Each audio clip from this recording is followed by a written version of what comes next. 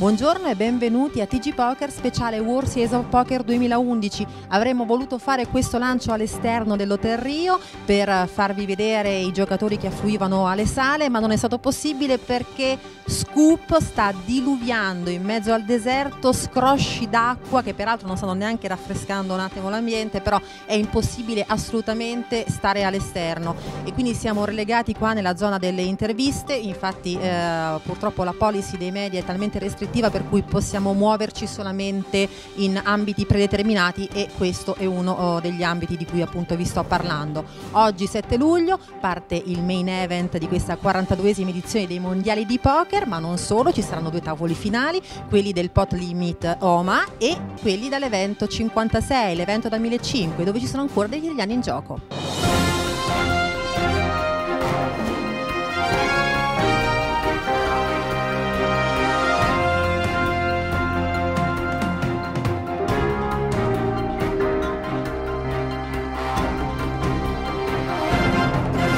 Facciamo un breve riepilogo della situazione che vede questo 7 luglio protagonista indiscusso. Innanzitutto cominciamo col fatto che l'evento 55, il Poker Player Championship da 50.000 dollari, è terminato e ha vinto oh, i quasi 1.800.000 dollari di montepremi Brian Rust, runner-up Phil Helmut che si deve accontentare di un milione e spiccioli.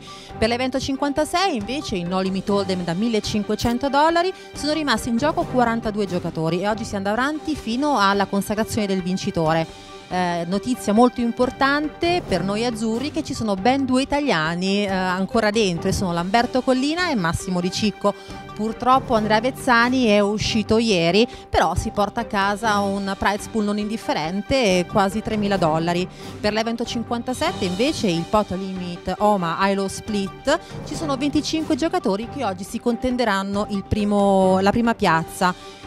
Il primo conquisterà ben uh, 400.000 dollari, che sono tantissimi perché comunque era un evento molto tecnico. Noi avevamo dentro l'azzurro Maurizio Guerra che purtroppo è uscito in 26esima piazza, si porta a casa uh, quasi 13.000 dollari ed è uscito appunto a un passo dalla fine del, uh, di questo day finale perché oggi appunto si andava, giocano solamente 25 players e lui è uscito 26esimo. E poi ovviamente il main event delle VUSOP, quindi l'evento 58, oggi è il giorno del day 1A e si giocheranno 5 livelli per un totale di 10 ore di gioco, infatti ogni livello dura 2 ore e eh, ci sarà una pausa cena particolare non indifferente di 90 minuti dalle 18.15 eh, in avanti.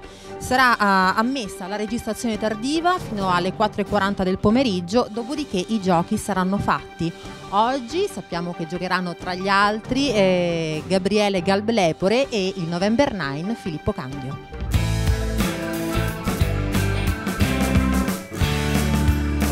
È con noi un esponente azzurro che partecipa a questo main event VUSOP, a questo D1A, è Matteo Runi Taddia. Ciao Matteo. Ciao a tutti. Come sta andando questo Day 1A? Ha detto ci, mi sono appena svegliato, non sembrerebbe in realtà. Eh, sì, un'oretta di ritardo, sono svegliato adesso, è appena cominciato, ho giocato un'oretta, sono sui 29.000. Ma ieri cosa hai fatto per esserti svegliato in ritardo oggi? Non dovevi fare preparazione, andare a letto presto? Ho fatto un torneo defaticante al Bignus da 180 dollari. Come è andato? Primo. Veramente? Era piccolino, era un torneo amichevole, diciamo. Scusate, adesso a prescindere dal fatto, piccolino no, comunque il Bignons è lo storico casino dove hanno di fatto visto la luce le Vusop a Las Vegas. Tu arrivi primo, vabbè, congratulazioni. Infatti ho fatto il tavolo finale proprio nel tavolo finale delle vecchie Vusop. È stata una sensazione strana, anche se il torneo piccolo, il primo era 3500 dollari, però la sensazione è stata bella. Poi anche il torneo ufficiale, quindi molto bello. Complimenti e congratulazioni. Senti, ma adesso al tavolo invece come ti stai trovando? Hai... Se devo essere sincero, è un tavolo. Il livello non esiste. Fanno, questi, fanno un torneo a 10.000 dollari senza neanche sapere perché. Non, non, non sono professionisti, sono 6. Tipo race 5 per UTG. Infatti sto soffrendo, sto fermo in attesa. Infatti secondo me è una delle cose migliori da fare. Noi abbiamo incontrato adesso nella pausa anche Gabriele Gallepore, eh, il quale mh, ci ha detto guarda non, non, non, voglio fare l'intervista adesso perché sono un po', un po', giù, perché ha al tavolo un giocatore che veramente gioca come se insomma... Uh, eh, più di uno, però in particolare lui si sta scontrando sempre con un giocatore che, che non sa giocare e che quindi però è, poi è aiutato dalla buona sorte di fatto. Chiaro, io con uno un francese ho tributato a 900 perché io ho aperto recente con Jack Jack mi ha chiamato asso 3 asso la mano dopo lui, lui riapre, io tribetto con asso K mi chiama con 4,7 4,7 quindi cosa devi fare? Niente Bisogna essere pazienti. Sì, sì, pazienza. Sono sceso 24.000, poi ho fatto un bleffettino. Siamo lì, speriamo. Allora, noi con questo speriamo di Matteo lo salutiamo e ci riaggiorniamo i prossimi giorni. Va benissimo. Ciao a tutti. Ciao, grazie. Passeggiando oh, per, per, il Rio ci siamo imbattuti in un personaggio totalmente ignoto alla comunità pokeristica nazionale ed internazionale sto scherzando ovviamente, siamo con Francesco Nguyen, Francesco aggressivo Nguyen, che si aggira qui in attesa di partecipare a questo main event. Eh, siamo in attesa, siamo anche molto agitati perché questo torneo è la prima volta che lo faccio e mi sento un po' molto emozionato, però tutto sommato quando siamo lì dopo tutto si sbloccheranno. Diciamo che secondo me con il tuo cognome già parti avvantaggiato. Eh sì, perché qui in Guyan ci sono tanti, già io essendo in Guyan anch'io, eh, diciamo sono avvantaggiato qui. Senti, eh, sai già che giorno giocherai? Io dovrei giocare il Day C, diciamo il 9, tra due giorni qualche tattica particolare o utilizzerai la tua solita, diciamo, aggressività? No, diciamo che in questo torneo bisogna usare delle tattiche particolari perché abbiamo 30.000 di stack e livello di due ore. Perciò i primi livelli, volendo, si può giocare anche i suite di connector, coppiette, speriamo di chiudere qualche scala, una doppia coppia o settare un tris e lì massimizziamo. Poi quando i bui sono alti dobbiamo fare un altro tipo di gioco. Ascolta, una domanda che non ti ho mai fatto, ma tu hai un amuleto, qualcosa di scaramantico che ti porti dietro, se si può dire? Io ho eh, questo qua, guarda, ho l'artiglio di tigre che mi porta bene, diciamo che contro IL, contro l'invidia, eh, però penso che sta funzionando.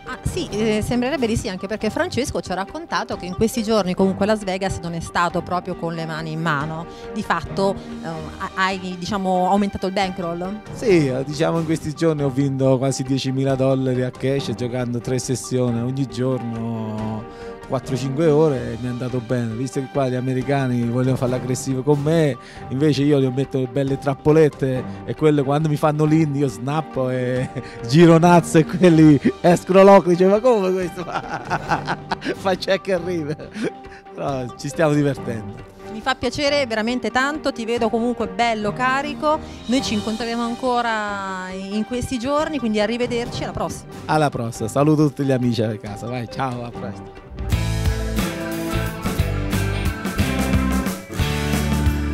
Da Las Vegas per oggi è tutto, arrivederci a domani con una nuova edizione del TG Poker, il notiziario del poker sportivo.